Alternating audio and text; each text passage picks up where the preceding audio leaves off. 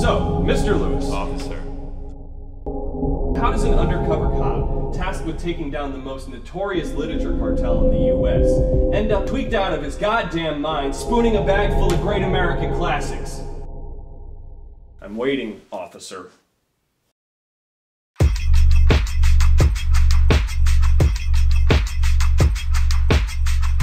They say Alice fell down the rabbit